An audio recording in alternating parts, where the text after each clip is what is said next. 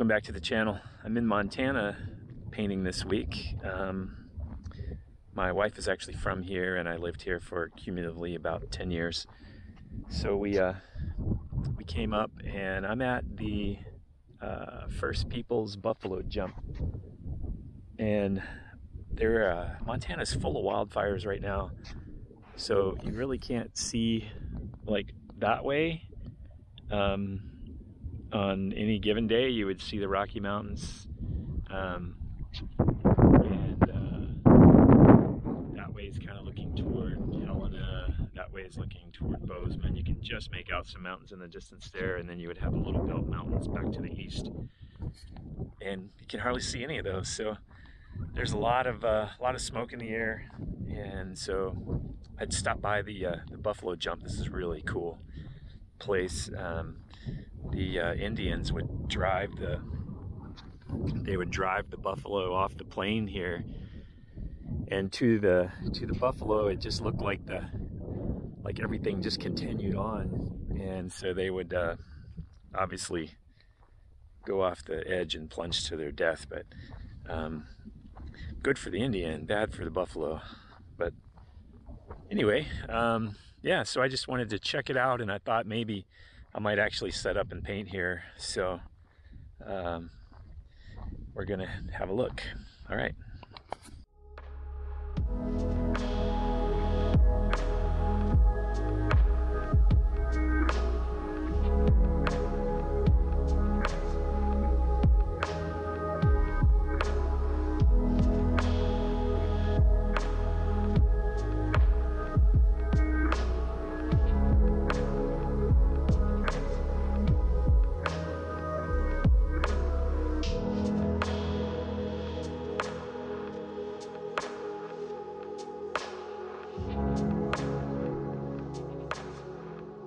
So here's the scene that I've chosen. Um, I really like the way these rocks over here are like kind of angling up.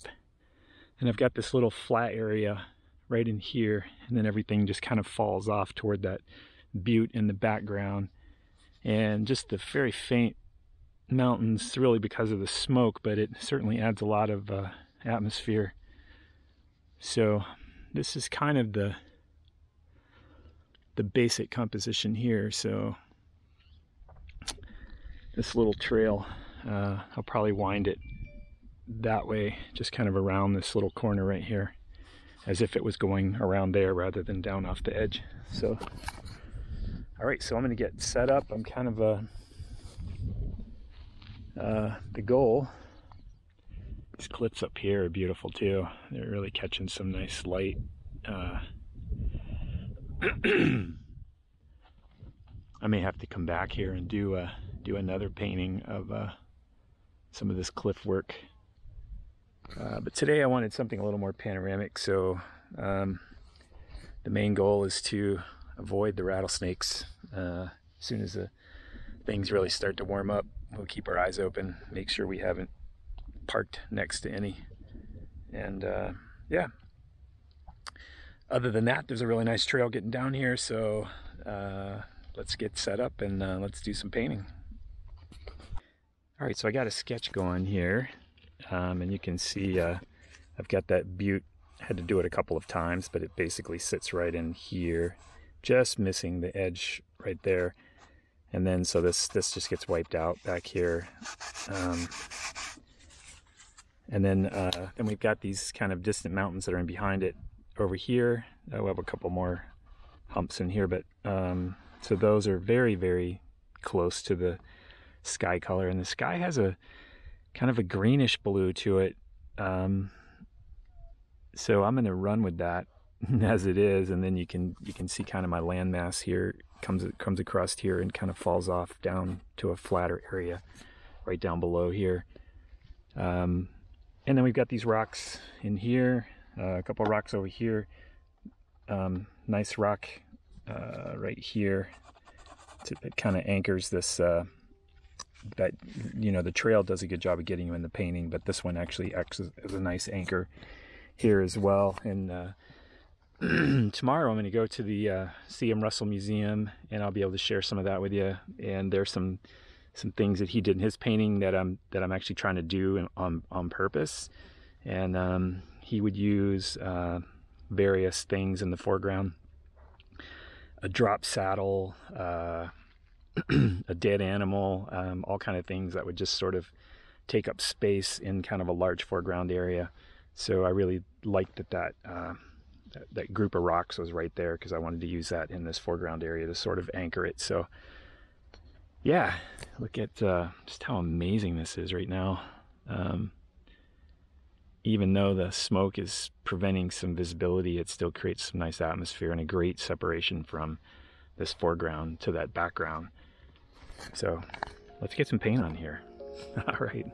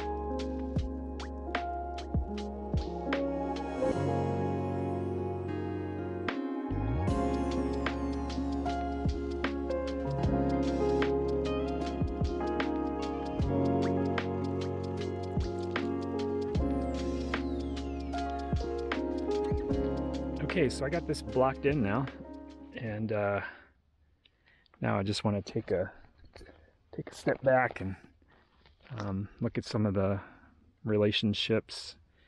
This one's going to really require a foreground. I'm going to work. I'm going to work this area first, and then that's going to kind of set the tone for what kind of values I'm going to end up with back here. But I'm going to be like 10, maybe 10% of what this is already, so it's going to be really light and you can already see that this also has the value of this has to come get a lot lot lighter too because it's really secondary to the sky and it's it's uh, pretty close uh, I mean it's it's really like we got the sky and then uh, this one and this one are just kind of in a gradation um, and then we get into all this. So I'm going to work this first and then work my way into the background after that the sun's not going to be a problem because it's going to go this way all day. So um, I'll be in shadow here uh, and not much is going to change out there. So, okay, little water break and uh, we'll keep rocking.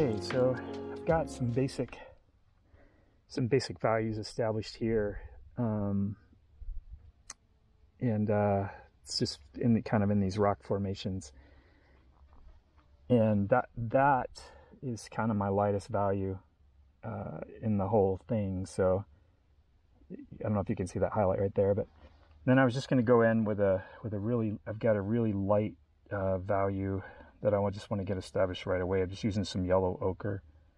Um, and it just sits right along this edge back here. There's kind of a kind of a flat area.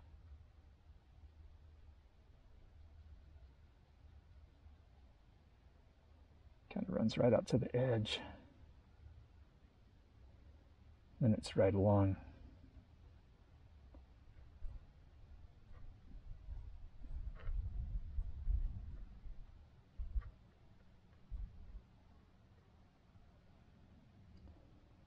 there, and then it runs right along here.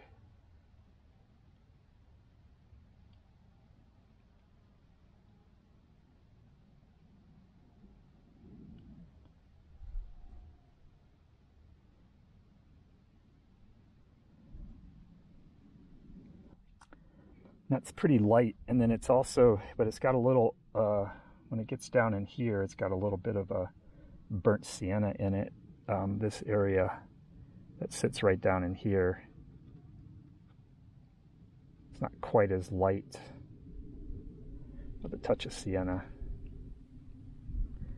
And that's just scattered all out through here.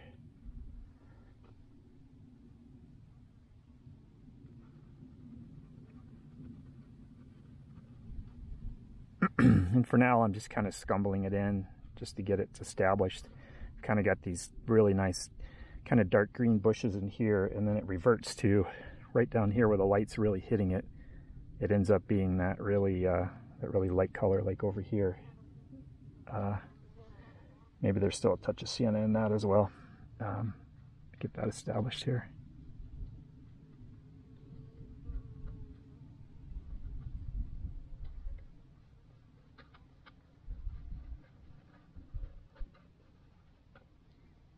And we've got that same grass uh, that's kind of sitting along the edge of this right here. And I'll have to go back and get what's behind it, but I'm just kind of laying it in just for, just so I can see it, kind of how it relates at the moment. And I can see already that uh, this path is just not dark enough, so uh, first thing I'm going to do is uh, I'm going to scrape some of this scrape some of this paint out of here so it's just not overpowering whatever I put on here. Um,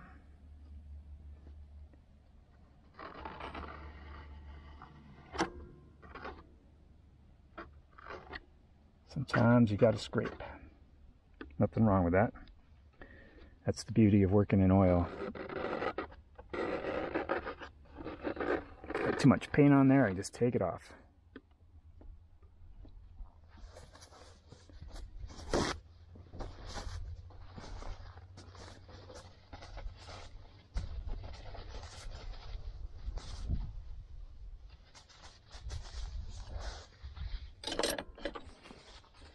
All right, so just got to go back to some basics here and figure out what this color is. So, so I'm just going to take, uh, see if I can show you this, um, maybe. If you don't mind if the camera just shakes a little bit, but I'm going to take some burnt sienna and I just want to see what I get when I just lighten it. So I end up with a color that is actually a heck of a lot closer to what I need than that. It just needs a bit of blue in it. It's almost a gray. A gray brown. And I'm looking for this relationship between these two right here, and that's way closer, so that's the direction I need to go. So that's just using some ultramarine blue and some uh,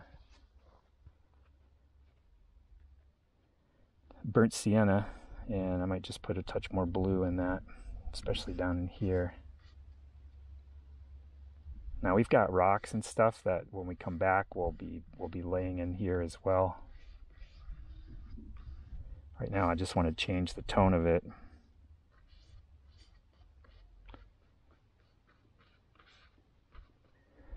It's all about relationship. It's uh, how this relates to that and uh, everything else. So, okay, now that I've got that better established, um, now I'm going to jump to this background and uh, get that settled in. And then we'll be able to work over top of it. So.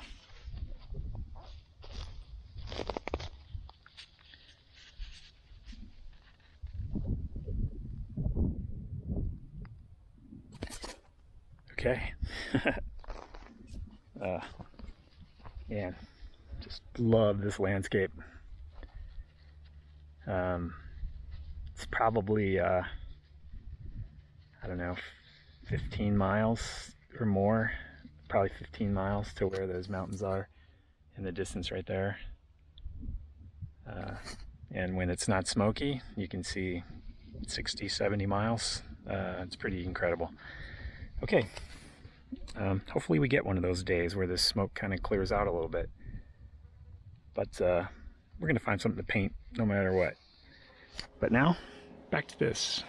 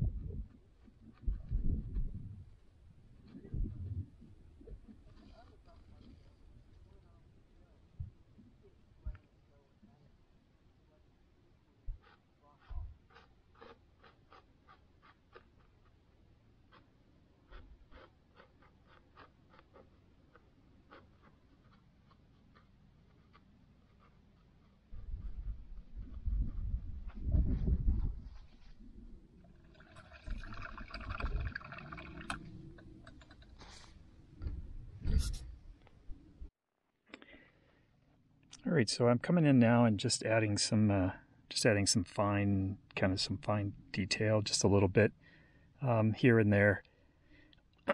Mostly around these uh, edges here where some of these uh, bushes needed some definition because they're just kind of uh, just kind of color blobs at the moment, so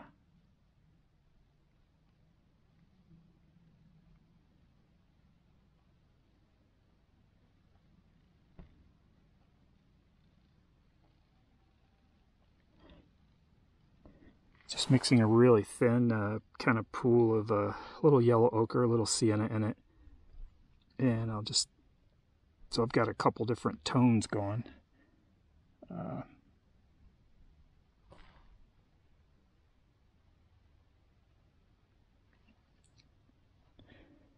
keeping it really wet. and I'm using a rigger, uh, but I'm using the very flat the very flat edge of the rigger, so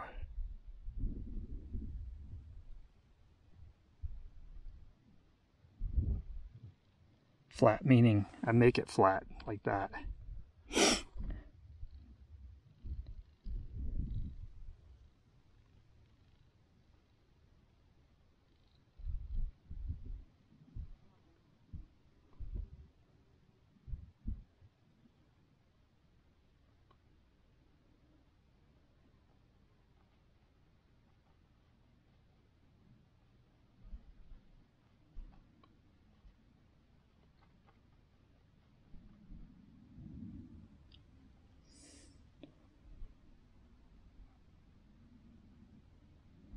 Want something heavier, I just lay it over on the side.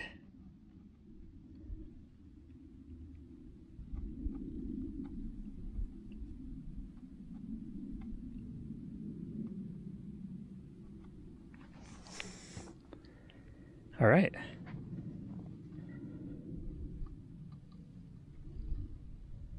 So I'm just going to go through and uh,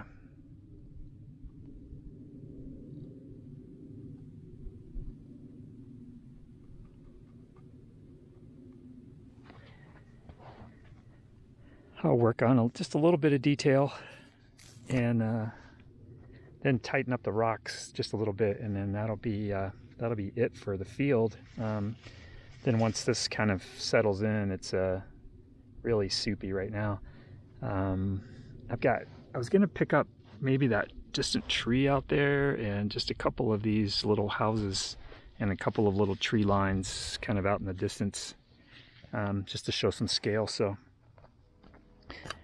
Okay, let me uh, continue on and kind of get this uh, tightened up and and then we'll, uh, I think we'll call this one good. All right.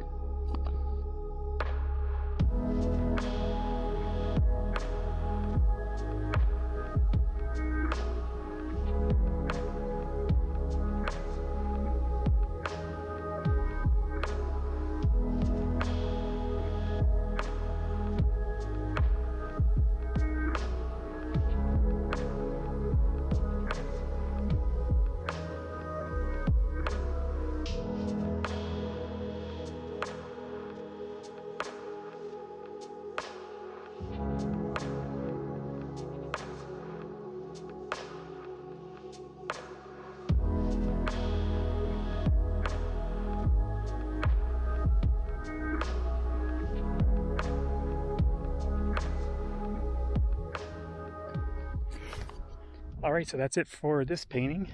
Um, I'll show you what I've got here. Hopefully you can see that. I know the sun's kind of in the way, but um, it's uh, some of the rock greens are they're kind of glowing a little bit, so I'll have to uh, kind of adjust those later. But I've got a lot of paint on there, so um, if you can see the texture, but there's a lot, a lot than more than normal. Um, so I'm gonna stop there and this uh, just just amazing. Uh, I think I'm going to come back here tomorrow and paint from a different perspective, uh, maybe down a little bit lower. So uh, yeah, thanks for uh, hanging out with me. Uh, you know, I appreciate it, and uh, I will catch you later.